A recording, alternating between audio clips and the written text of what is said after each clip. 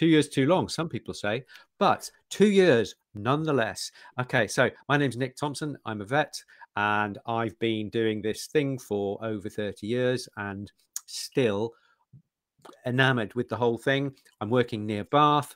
Um, I do uh, uh, homeopathy, acupuncture, nutrition, herbal medicine, everything, but really, really going deep on on on on nutrition. And it's great to see you all. We've been working with Judy Morgan, who is just a, a wonderful, wonderful, wonderful person, and she's said bring the message to to some of her people.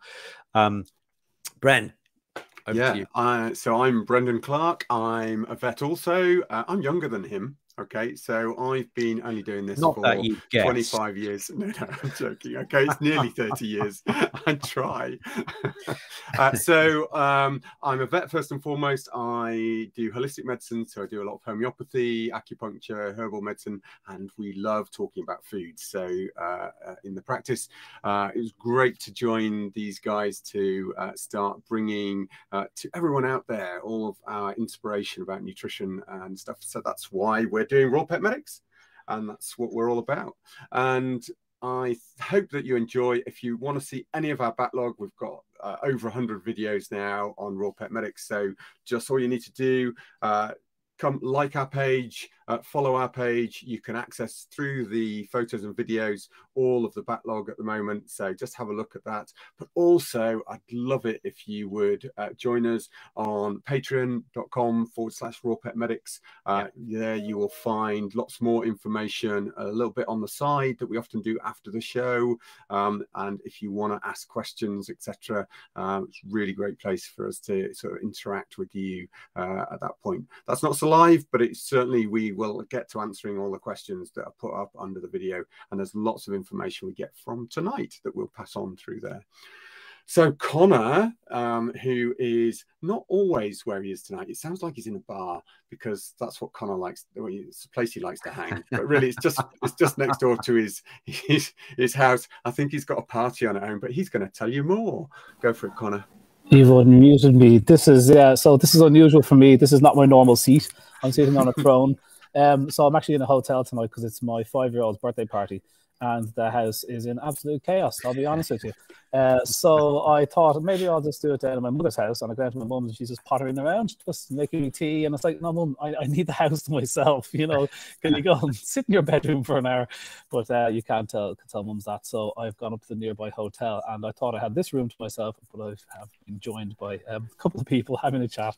So sorry about that, guys. My name is Connor Brady. Um, I am the young, energetic uh, sound one of the gang. And um, find me on dogsfirst.ie. That's where I do all my bits and pieces. Uh, I'm a not the, I'm the non-vet of the gang. I have a doctor studying the effects of nutrition on behavior, but I love canine nutrition and I think and speak and talk and do it all day long. So uh, yeah, love it. Love what we do here. This is fantastic. Uh, and tonight is a great one epilepsy we have done epilepsy before but it's been so long ago uh, and there is so much to cover in this that uh, who wants to start us off guys and give us a background. What do we talk? What is a uh, what is epilepsy? Is it the same as just seizures? Are those two things the same? Help us out, somebody.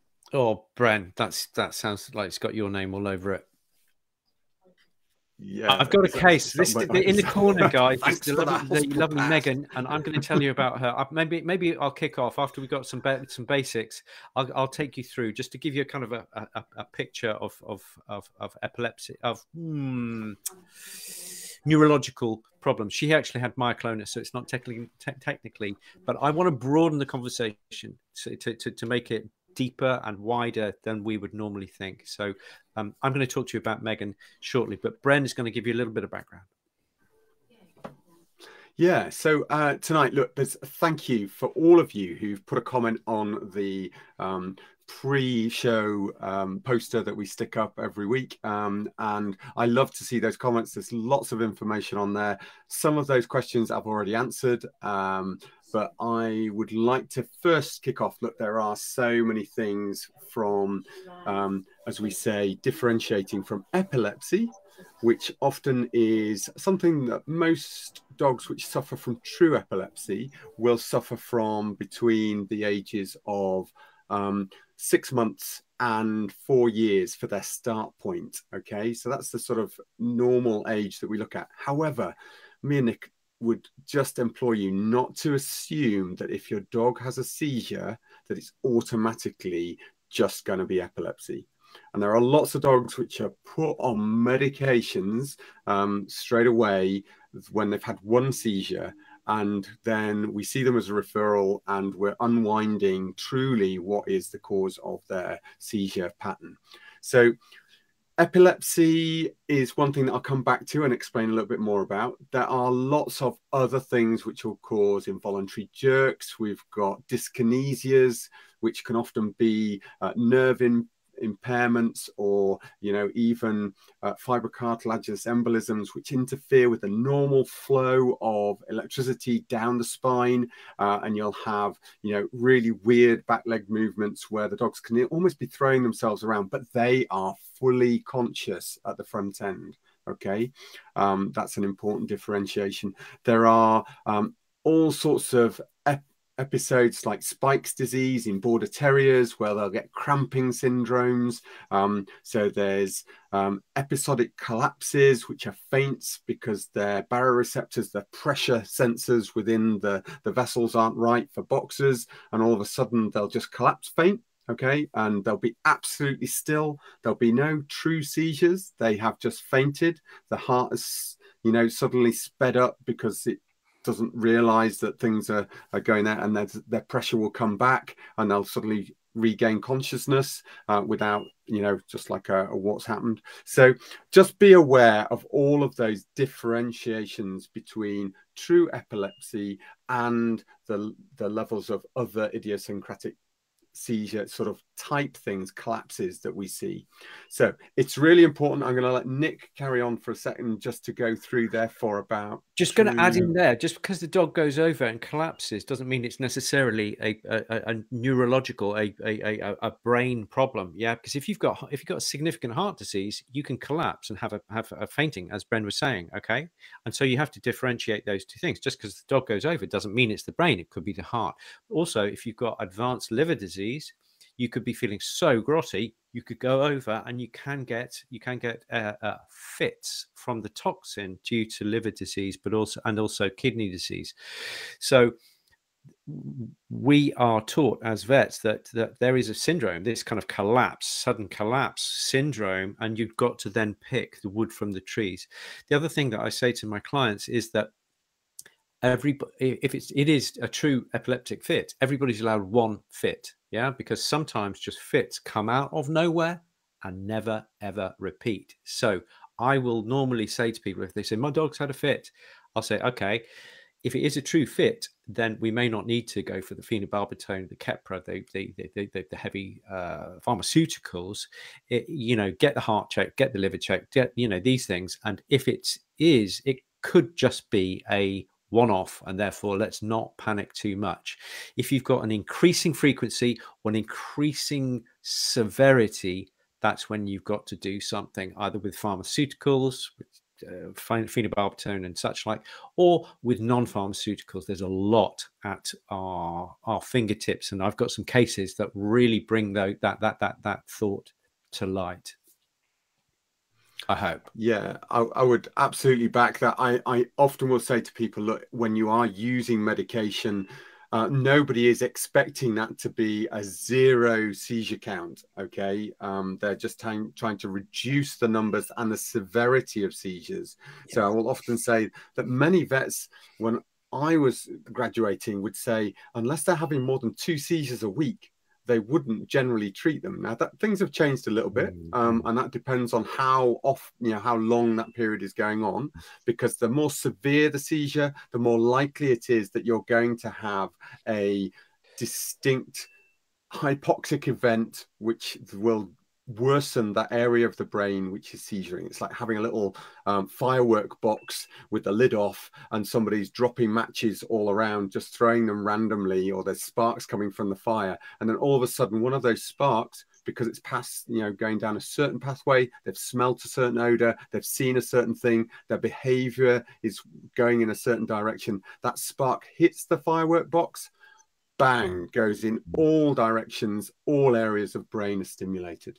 So I would definitely say, you know, consider that uh, when you're coming to um, looking at seizures or things. And we do have a specific um, uh, video on what to do in a seizure situation. Connor, you wanted to say, you're on.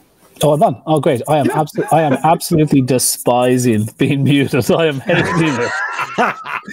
is this what we love it? Is this what being polite is like and waiting your turn? Because I am not digging it. It is not suiting me, and I'm I'm uncomfortable. So I'm back. Uh, so I was going to say I can't remember. It's just so good to be talking. So he, just wanted to, he just wanted yeah. to speak. I was going to say, um, okay, just run us. If, if you could give me thirty seconds on my dog's having a seizure, what do I do during it, and what do I do immediately after? Okay, I'll just recap that very briefly then for you. I would say, look, if your dog's having a seizure, do not hold them down. Okay. Yeah. Do not stick your fingers in their mouths to try and clear stuff out of their throats. Okay. You will lose fingertips, you yeah. know, in their they're chomping, they are uncontrollably spasming their muscles. Those muscles on the head, the masseter muscles, are really powerful. Okay. So if they are sick, okay, because often they will be unconscious. They will make lots of noise, which is not because they're in pain, but just they are, you know, tightening all of their vocal cords, all of their chest muscles, all of that, and it's going through spasms, and therefore you'll get uncontrolled noise. They may urinate, they may defecate, they may vomit, um, all of those things. They may salivate excessively. Um, that's if they do produce too much into the mouth, physically move them away from that. Okay. Some people will put a coat underneath their neck so that their head's tilting down slightly to try and keep their airway clear. But literally, please don't hold them down. If you are in a park outdoors, attach a lead to their collar at that point so that when they wake up, the first thing that they do on reset is usually go back to basic instincts and they will run or they will bite okay? Because they don't know who you are on that first reset. So just be cautious. They could just be unaware of what's going on. If somebody's holding them inappropriately they're going to struggle and, and may bite not because they're purposely doing it. Good same thing if they're out in a park attach a lead because if they run the last thing you want is for them to disappear over a road or off into some other area of danger. Um, so you just want to be safe with that um, you may need to dim the lights. If you're indoors, this is easy. You draw the curtains, switch off any excess si sound. If you're out in the park, you may take your coat off and put it over their head area. Don't hold it down, but just put it over their head so that they've dimmed the lights. You're muffling the sound. Um, yeah. That's all. You try and reduce stimulation. You're reducing those sparks from risking cycling back and going back into the firework box and setting it all off again. Yeah, but do talk to them. Do talk to them calmly. Yeah, they need to know you're there. And as soon as they come back out to hear your voice in a calm, yeah, if you're hysterical, that's probably not going to help. But if you're calm, you can kind of just teach them out of that to a certain extent. So, so calmness is really, really important. You will not be calm for the first dozen fits. No, it's a bit, bit shocking then, to watch. Yeah, yeah. And, then, and you will, you will gradually learn that you know there is life after every every fit in most cases. Yeah Diane And I would say something that is really, really good at that point. If you are unsure of what's going on and you've done those initial things that I've just talked about, get your phone out, start videoing. Really, really important. One, it'll tell you how long the seizure actually is because it will seem like forever. Okay. And two, it's really useful to the vet to be able to understand is this a true seizure?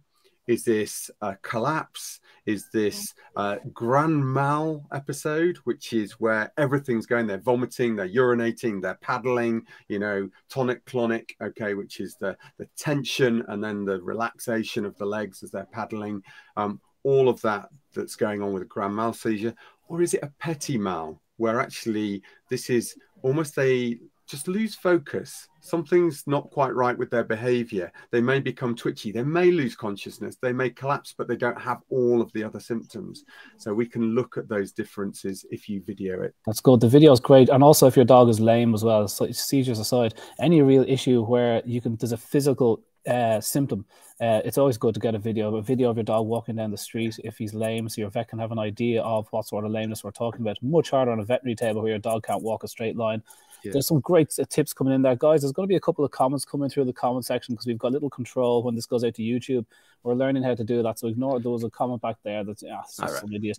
But um, but we uh, there's some great. Little, Don't see uh, it on Facebook. It's there's fine. Great some questions. There's great um, questions coming in here. Uh, a dog's recently been diagnosed with fly catching syndrome. What's that? It's where they look like they're fly catching. I've I've actually treated one of these last year, and um, he did really really well. And basically, I just treated him with an with a non pharmaceutical epilepsy regime, and uh, he did really really well. Yeah, What's yeah, that. Nick? The what? The regime? Yeah. I'm going to tell you in in a second. I've got a lovely case. Cool. Lovely, very good. Um, and so, and so your vet needs to be shown this kind of video. And the, the worry for me as the non-vet of the gang is that I bring my um, dog to the vet, and not to be a doubting Thomas, but I'm I'm concerned that um, more hardcore, more lifelong uh, drugs can be given at this point. Uh, if my, if that has been going on, I'm sure the vet has made a good, accurate diagnosis at the time. But is this what? Where do we lie with with this? You can't doubt any vet, but there is a concern that medication is often the first thing that's reached for. Is that a fair thing to say, or is that unfair? I think if they go into um, a status epilepticus, which is where they don't stop seizuring because that firework box keeps getting lit up okay? And you go to your vet and your dog is seizuring and somebody's made a comment about that that they've just had that this weekend. Um, and you know certainly then they may need to have intravenous drugs given to keep them in a stabilized state where everything calms down effectively smothering the firework box until everything stops and then they can bring them round again now, that's an exception. I think if your dog has a seizure, it's important to look at a number of metabolic diseases. So, you know, is there problems with the liver? Is there problem with the kidneys? You know, is there something else going on with our hormones that's maybe leading to this um, and their electrolyte balance? Um, there's uh, so, so, you know, having a conversation with your vet, not just saying they've had a seizure, oh my God, I need medication, or the mm. vet saying, oh my God, you need medication, I've only got five minutes to speak to you, mm. is actually to have a conversation and say, look, my dog's had a seizure, this is what's gone on. What do you think? And what do you think the differential possibilities are. And Nick's going to talk a little bit about some differentials that are out there. What about um, there was a, a big um, announcement there the last couple of years where they're adding on more and more side effects to some of the less favorable flea and worm treatments that are out there. Um, mm. Is there side effects that might induce a temporary kind of fitting state in your dog? And the concern then is that your dog is put on seizure medication when actually it's a side effect, and you'd hope that that wouldn't actually happen again and again. You'd expect it to happen less. What's the what's yeah. the thought? So there? there's two things that I would say there, and many of you who are following us today will not be on these medications because the reason you're here is because you want to avoid them.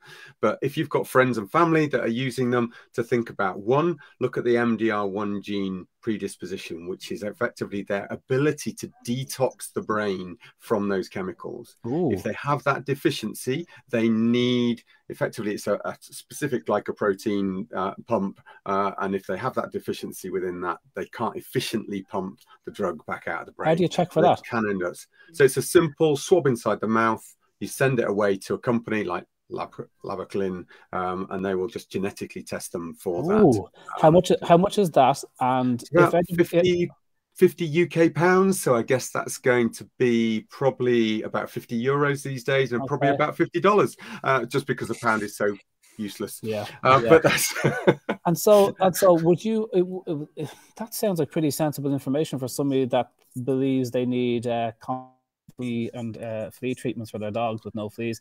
Uh, should you should you always swab dogs to check if they can take them? I would personally, but there's some, one other thing that people don't realize. There is another drug out there on the market which actually interferes with the same pump. And so for dogs with skin disease, okay, um, that, especially if there's an immune suppressant, which is a cyclosporin being used, that cyclosporin actually also downregulates that pump. So if you then use one of these flea products alongside it, you will actually get the same risk of side effects.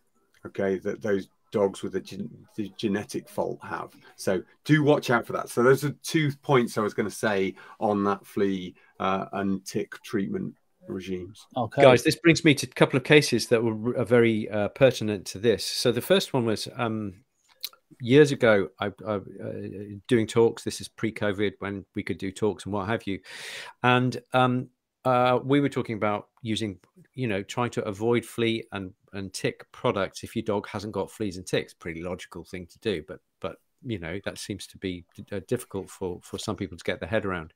Anyway, I was talking about this, and then at the break time, she came along to me and said, uh, "Oh, uh, my dog is really, really uh, sensitive to frontline and any exposure, and uh, they will get a they will get a um, a fit."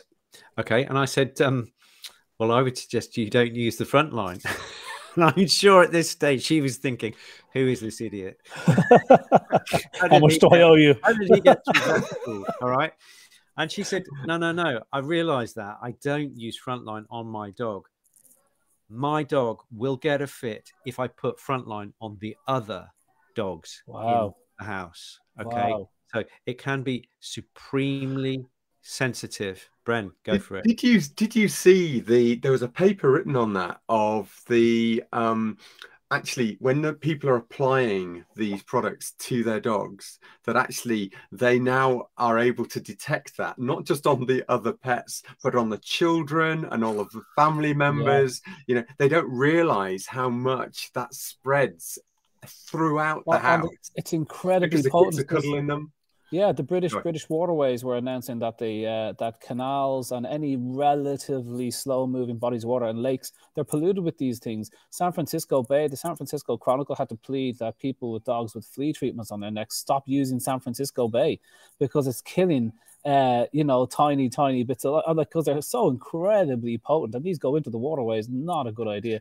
Anything so, you have to wash your hands after or wear a glove. I mean, to say that these are not neurotoxic or dangerous to humans is, is idiotic. I mean, of course. I raised this. I raised this very thing in a council meeting at the uh, British Veterinary Association, and the immediate comeback at that time was, well, yeah, because we coat seeds with it to stop pests getting in there. We coat, you know, the crops with it. It was used everywhere. You know, fipronil is one of those things that actually causes the, the death of bees and things like that. Yeah. So they were trying to blame the farmers for all of that contamination. Um, and then I think somebody has done a study on some of the other types of flea stuff that we don't use in those crop protection scenarios and they're still finding it in the waterways and they now can't really sort of explain well you know it's because of this yeah. no it's yeah because of the stuff we're spotting on our dogs. Yeah. So like, like guys, we've got we, let's get to some treatments. Uh, we've got we we know of a more conventional route, but Nick, you said you've got a couple of case studies. Run us I've Got, I've got another one. I've I've got another one, and surprise, surprise, it's because of a uh, flea and tick product. There's there's a product over here, um, Americans called Simparica. I'm not sure if you have it over there, but if you do a Google on Simparica, S I M P R A CIA, uh, CIA Simparica. Yeah, it, you'll be able to find out if there's an American equivalent.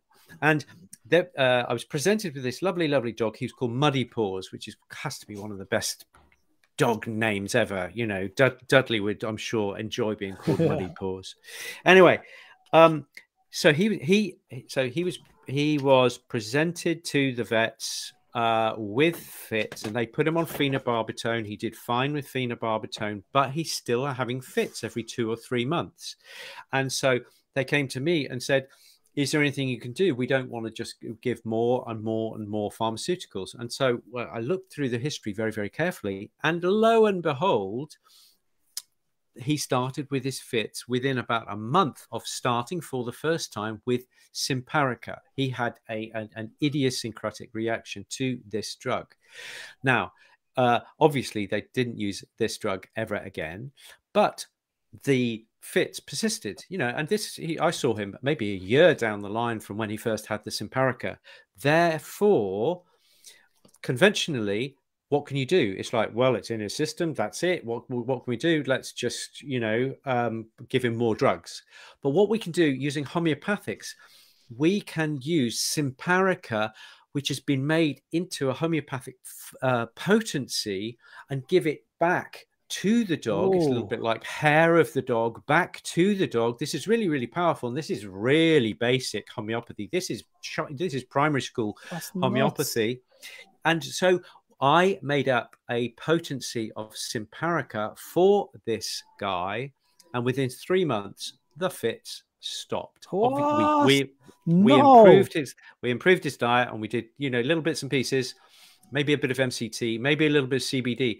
But the main thing was the remedy. If they didn't give the remedy, then they may get fits back again. So That's incredible. it's not guaranteed, but it's cheap, no. it's easy, and totally non-toxic. Uh, so if you've got, you know, never well since a certain drug, and let's face it, there are a lot of those those cases around, then definitely talk to your homeopathic vet to think about whether they can use that as a as a homeopathic remedy. It's it reminds great. me of it reminds me of there was a study out there on belladonna being used uh, mm. for uh, seizure control, and I was thinking belladonna, bloody hell, that's that's going to lay you out.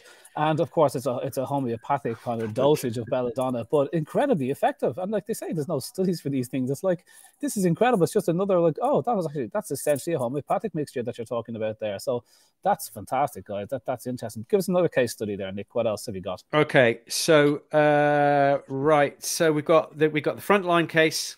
Um, and we've got the the uh, Simparica case. And what was interesting with both of those cases, the vets, because we're not trained in this, we're not really trained in toxicology. We're not trained to kind of look back in in, in forensic detail at what started. You know what what what was happening when all this kicked off. Yeah, because things happen for a reason. Now, sometimes you can find out, and sometimes you can't find out, but nothing happens for no reason. Okay. So, and sometimes the dog will give you that clue and that will lead you down a certain line. So, it's definitely worth looking in some detail. And homeopathic vets are all about the detail, they will go through the history in great detail. Yeah. Okay. So, here's another, here's another, another case which is really very interesting. So this is a, a, lovely, lovely dog called Carlu, who I treated for years and years and years, and he was having fits, and the owners were quite distressed with the fits. They didn't want to go on phenobarbital. Um, and he wasn't having fits very frequently, maybe only every three or four months. And then, as a homeopath, we looked at why when he was having fits, and you know what? He was having fits when he got itchy. That stimulation was too much for him and it pushed him over into over his, his his fit threshold and he had a fit if he got itchy enough. So all we did was to treat his itch and he never had a fit again. Wow. okay? Now i am pulling out the black and white cases and most most most of the cases that i deal with are not as you know we gave a gave a, a remedy and never had a fit again. Yeah. um, however it shows the possibility of these things. Okay, yeah. you've got to work with your vet, but also consider a homeopathic, a holistic vet who might be able to do things that the the, the conventional guys are not able. It's all about teamwork. We've got to work yeah. together. Can I ask? Things. Can I ask a simple question here? So, um, this dog where the itch kind of threw him over his threshold. To me, as yeah. a non-vet, that does that suggest that his threshold is very low? Can it be that a person can be extremely inflamed and be more prone to these issues? It takes less for them to snap is that is that a very simple way of looking at it? Like if you focus on reducing inflammation in the dog with all the usuals, uh, reducing stress, good quality food, anything, fish oil, whatever is your fire extinguisher, would that help? The, all these things do seem to come into the whole approach to epilepsy, seizures, mm. control. They're all the usuals. They all seem to be anti-inflammatory. Uh, is that it? Is that like trying to increase your threshold? Is is that it? Totally, Bren. You were just talking about this earlier. Do you want to take up? Yeah. So somebody asked on the the pre questions just about you know flavonoids and our you know understanding of things like quercetin. Connor, you love quercetin. Uh, you know, and to why uh, they can be so useful in seizure cases. And you know, we we sort of concentrated a little bit on the seizures which can be related to um, inflammation either because of drug toxicity, either because and, and there's uh, pesticides, things like um, herbicides like glyphosate. You know, somebody's just mentioned that. You know, uh, mm. uh, their dog started to have seizures following you know being next door to crop fields, and quite a lot of them will be sprayed off for cropping with glyphosate. Um, there's inflammatory diseases like um, Neospora, um, Toxoplasma, um, you know, even Lyme's disease, which can all have effects, cause lesions within the brain, lead to inflammation. Um, there's even, you know, cases where upset gut flora can lead to seizure stuff because of inflammation elsewhere in the body. So I would say where they're really successful, and this is what needs to be looked at, is definitely use some of those. They can have brilliant effects um, to reduce inflammation uh, throughout the body, and that can make sure that there are improvements as far as the seizure activity. Um, I would like to bring in that, that some cases for true epilepsy where we've ruled out through MRIs any other lesions of growths or you know any other inflammatory areas. We've ruled out through bloods that their organs are fine and everything else. And I would certainly say, look, one of the best ones that I've used for stopping seizures in their tracks is rather than trying to find the constitution, and belladonna can be really useful in some cases, stramonium, things like that. I would definitely say Proteus, which sort of overlies a lot of those as a bowel nosode can be really useful um, in halting seizures. So if you see the preictal behavior, a spray onto their gum, if you see them actually start to have a seizure, often they've got the lips drawn back. So you don't need to touch them by spraying because you can get them into liquid form, the spray onto the gum. It's absorbed through the mucous membrane that can halt the seizure. You can repeat it every 15 to 30 seconds, up to six doses, and have amazing effects. But often I will find the cases stop after the first spray. Um, now, some people would say, well, I've tried ice cream. Actually, I've just used ice cream and that stops them. Um, uh, and you're right, you know, if you change their mindset in preictal behavior, I've also seen some cases that, but it's less predictable. Um, just tell us what what the Proteus is, just so that people can can find it so in the states or over here. A um, homeopathic bowel nosode. So it's effectively um, back in the 1920s, the Patersons uh, did a lot of work, and Conor wasn't aware of this, but he's looked at some more recent work on how your bowel flora can change in certain directions in response to disease. Okay, and they were doing studies on this, and they looked at effectively um, the certain types of disease, and they cultured the gut flora of those patients. What they then did is made remedies from those gut flora, okay, in potency. So they weren't giving the actual bacteria back. And they actually then saw the resolution of those diseases. And they did the same for looking at constitutions in homeopathy. And they realized that there was a crossover in constitutional makeup and those bowel. So they often cover, like miasmatically, a number of different remedy types. Linda says, please can you spell it? Proteus is P R O T E U S. Um, this guys, this as this is the most we've ever talked about homeopathy with you two guys. Uh, being top of your game at this. We very rarely bring it into the conversation, and it just it's so useful. Do. do. you know what's strange? Like, and to, there's a number of other kind of natural treatments, natural, just alternative treatments that you can try. And you know, CBD has been mentioned there many times in the side mm. for very good reason, guys. When you type go into Google Scholar if you're looking for your studies and you just type in CBD for seizures, CBD for epilepsy, whatever your whatever your, your thing is in dogs, in humans, in rats, very heavily studied in rats, there is a preponderance of really high quality, really well controlled studies to show that that this does reduce seizures. There, uh, there's absolutely no doubt. It's also extremely safe product to be using. So this again, you talk to your vet about these things. If they don't support CBD, you might need to talk to a more natural minded vet. But like the fact is, this CBD stuff works. In fact, I was having a look on uh, Google now. Ireland has this issue, but that you know we don't like a- any drugs that make you feel good. Anything that actually works, you know, they aren't they aren't good. So, for example, CBD, uh, everybody was just happily buying it online and using it for their epilepsy and seizure pets and kids until uh, the government got involved and started saying, no, we can't have this. It comes from a cannabis plant. And they said, well, there's no THC in it. So the psychoactive part of it has been removed completely. And although a little bit of it would probably actually be useful, but we can't have that, you know, some ridiculous concept from 100 years ago. Okay, but we want the CBD bit. No, you can't have that in Ireland anymore. There's stories, if you type in CBD mother's plea, into Google, into any Google, Ireland uh, particularly, uh, you'll see this unbelievable amount of stories. There's a classic one. That one there actually is um, is um, what is her name? Let me call up her name, uh, Vera Twomey. And she had to walk the length and breadth of Ireland because her kid was having something like 10, 20, the words were back-breaking seizures a day, back-breaking seizures a day. And uh, she just starts using CBD and they go, wait, they're gone. They've stopped. So these are uh, drug resistant seizures this kid was having. So the mm. drugs that they were recommended weren't working. And the advice from our health authorities were stop doing what you're doing and go back on the drugs that aren't working. So that has been that has been many examples of that. But for CBD, it's an utter scandal that this woman couldn't get what she needed. She had to move like some of these mothers were moving their families over to over to London, over to Holland to try to get what they need for their kids for these ridiculous. Uh, so it just shows that there is alternatives. So CBD is a huge one. I've got a big article on CBD on my website, dogsfirst.ie, where I list all the studies for all the things CBD is useful. Seizures is just one bit of it. But another one I wanted to tweak was given to me by Karen. Another uh, quick tip was by Karen Becker uh, and she mentioned it to me a couple of weeks ago there on the uh, health uh, on, on, the, on the uh, podcast they do. Uh, and Karen said that the rosemary thing, uh, we are very concerned about rosemary causing seizures.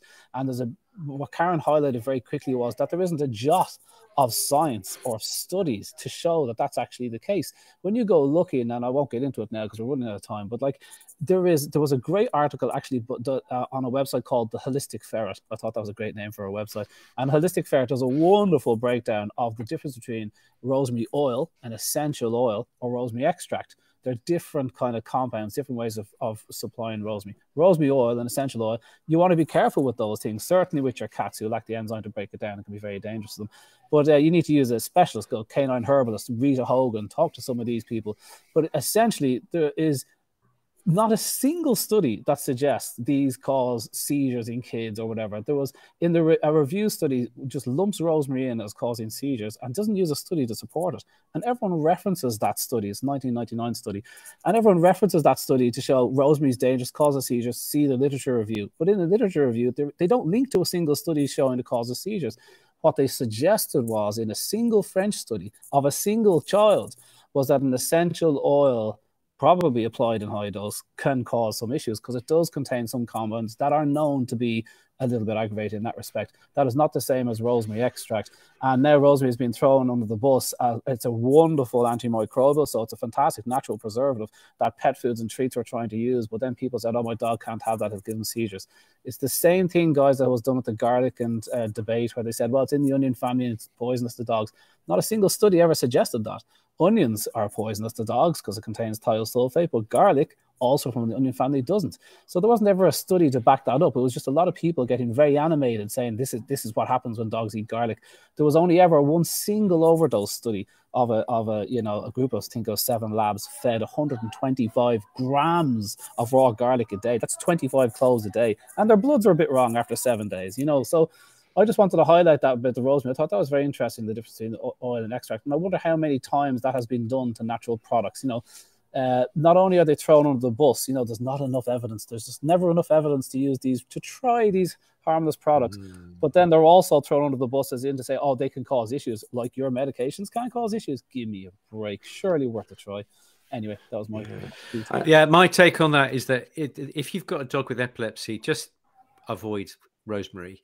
If you if you if you're suspicious or if you're thinking i don't want to give my dog epilepsy you have got to give bushes and bushes and bushes and tons and tons of rosemary before you even get anywhere near a toxic level of rosemary so for the normal dog mm. rosemary mm. is just good to go uh, and if you've got an epileptic dog just avoid the stuff. You know, just but be on the safe side. There's no evidence that feeding rosemary to dogs causes seizures. I can see in the side that people are saying 100% was linked to it. But, you know, when it when it's a statement like rosemary ingested causes seizures, and it's like, okay, well, show us a study that... that but then you've still got that situation where if the s- smell of rosemary is enough to go through a certain pathway in the brain, it will provoke. So some people will say, you make them smell the coffee and they will have a seizure.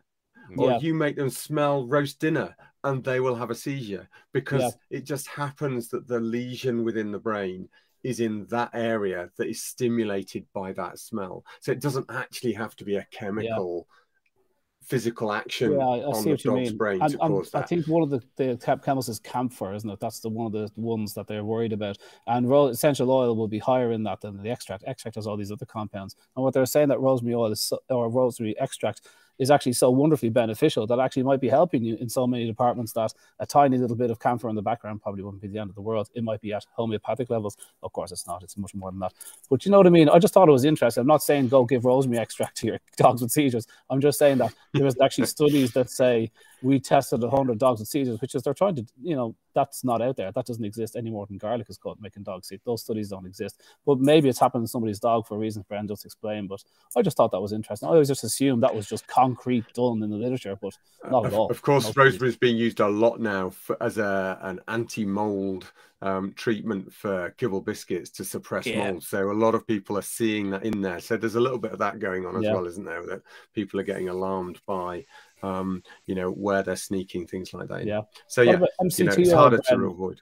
I saw you holding up MCT oil. It's a nice little study. Yeah. So somebody asked about using, you know, an MCT oil, and, and this has studies. I think you, is that the Frontiers one that that's the one. Had? Yeah. Yeah. Absolutely. Yeah. Nice so, study on dogs there. So that that's a study in dogs. Uh, so this this actually um, was back in 2015, something like that. I think the RVC did a lot of work on uh, ketones and ketogenesis uh, to reduce seizures within um, uh, dogs. And I think on the back of that, a lot of people have looked at this because it's you know effectively promotes ketogenesis. Um, and effectively, if you're trying to lose weight and you know reduce your insulin resistance and doing all sorts of things like that, then using that. But the brain can use ketones as an energy source. And actually, they found that brains that were using um, glucose as an energy source actually were far more unstable, I believe, with the electrolytes and more prone to going into seizure activity. And this was actually, I think, ketogenesis has been used for decades in children in kids to yeah, reduce to reduce seizures. Yeah. And so it sort of makes sense. And guys, you know, if you want to reduce your medications that your dogs are on, you know, certainly getting them not just using MCT, but look at ketogenesis. We often talk about Keto Pet Sanctuary. They've got lots of help on there to, you know, help look at ketogenesis. There's lots of books out there now that talk about how to balance uh, the level of carbs. So it's not just about feeding raw. It's not just um, about reducing carbs. It's also about balancing protein versus fats for your calories. Um, there's a few things out there because we can convert protein into glucose um, in our systems. So you've got to make sure sure that the fat calories are appropriate as well. Okay. I, I've got a case. Um, uh, Bren, would you be able to put up the picture of uh, Megan there just in our last few minutes? Um, so th- this is Megan, beautiful girl, lovely little Jack Russell Terrier. She was having myoclonus. Okay, so she went through a strange kind of gut orientated problem, and because we know that the gut and the brain are massively linked, we uh, she was having myoclonus, which is kind of like a mini seizure, and she was having up to forty of these per day. Can you believe it? Okay, and this Sally, her, her owner, is just you know wonderful and and and very. Um, uh, keen to get on top of things and very very very driven and it's great working with her and so we we we um, uh, made sure her diet was optimized. It was a raw food diet. Uh, we put her on MCT oil, and that was part of it as well. We used some herbs, but one of the key things we used homeopathics. We used um, uh, three key homeopathic remedies: uh, cicuta, and Cocculus and Ignatia, I think it was. Um, she's got a big long history, so I'm just uh, giving you this from from uh, from memory. And she went down to zero or one. We took off the, uh, we changed the remedy, and she started to have more of these myoclonus events And so we went back onto her original remedy and they came down again. And I think this is a really, really fantastic demonstration of the power of homeopathics in in, in these neurological um, in these neurological cases. That's it. The other thing I just wanted to say um, literally in the last couple of minutes was if you've got a dog with epilepsy, make sure you have ruled out hypothyroidism. Oh yeah. Just have a have a read of this book because uh, fits can be the first early, early, early sign of hypothyroidism. So this is a book by Jean Dodds. Wonderful book. What does it say? Jean Dodds, Dr. Jean Dodds, The Canine Thyroid Epidemic. You can get it on Amazon and Kindle and goodness knows where please, if you've got an epileptic dog, you've got to read this book. Yeah, that's good. That, there you go. A few other little tiny bits that, that we haven't mentioned, but uh, there's a study. Should we, there. do them, should we do them next door uh, on the side? Oh, yeah. Okay. Let's do it. Okay. Yeah. We, so, we haven't told guys, our American friends that. Yeah, loads of information. Uh, yeah. We've got, yeah. you will hear some of this on our podcast. You will see our um, podcasts are published now on Spotify, Amazon, uh, Audible, everywhere. Um, pretty much anywhere you can think that a podcast would be published. Pete's yeah. on it to make sure that we're published there. So well, thanks, Pete. And you know, if you want to find out some more information, about a month down the line, you'll hear the Audible podcast uh, produced, uh, and so keep an eye out for that. Um, for all of our Patreon guys, look, there's going to be some extra bits on the side. Okay. And, you know, thank you for that. If you want to join us on Patreon, um, you literally go to patreon.com forward slash raw pet medics and you will find us there. Um, we put a little extra video on every week just to uh, help you guys understand a bit more in depth. We're just so we're just going to tack on an extra 10 minutes over in the patreon people so that the patreon people feel a bit special. Yeah. And we think we think they very much are. They are so very special. that's what we're gonna we're gonna we're gonna disappear over there. We're gonna give it an extra an extra little turbocharge for our patreon people and we'll see you there. Good evening and america yeah, and thank you to Dr. Judy Morgan for entertaining uh, us being on her page, um, and uh, hopefully she allows us back on. Um, yeah, just uh, so. Upcoming broadcast, just very quickly. Uh, we've got Feline Friday this Friday, so if you want to join us on Best Start for Kittens, uh, we're going nice. to be talking with Julianne and Amaya and, and going through that. So if you're into cats and you want to know a bit more about cats, then please put your questions on the post uh, for that and join us back here. Um, that will be 1 p.m. Uh, GMT. That works out at 8 a.m. Eastern Ooh. Standard Time. Fair play, okay. fair play, Brent. So, you you put out an awful lot of free content, Brent. You put like yeah, Nick as well. well Nick, you've been doing it for years, but like you guys yeah. seriously put in a serious amount of work. What other vets yeah. are online putting out content all the time for nothing? You know, bloody hell, lads. Fair play, fair play. So that's a and that's you, on that, Conor, you are back next week because we have Q and A. So for next week, if you have yes. any questions, uh, we do a question and answer every month. Uh, so because it's a long month this month, we've done two. So this will be the second one. Uh, so if you uh, want to ask any questions, look out for our post put the questions in there. If you're on Patreon, make sure that you ask the questions. We do look at those as well. Bridget says, How do we find you? Basically, Bridget, you go to Patreon and you just do a search on Raw Pet Medics. Yeah. Boom. That's and uh, uh, Caroline Ingraham is is coming, guys, in a couple of weeks Ooh. or three, three, two, three, four weeks, whenever we can fit her in there. So zoo pharmacology, we want to see a bit of the science behind what goes on with zoo pharmacology. We know it works. We can see the YouTube videos, but I want to know a bit more. I want to see it in other animals and whatnot. So uh, getting a juicy little podcast from Caroline Ingraham coming up. So that's going to be exciting because zoo pharmacology was mentioned for a lot of people suffering these issues we're speaking about tonight. So uh, mm. very good. Yeah. Okay, guys, we'll see you over on Patreon in a couple of minutes. Brilliant. Take care. Night, night guys.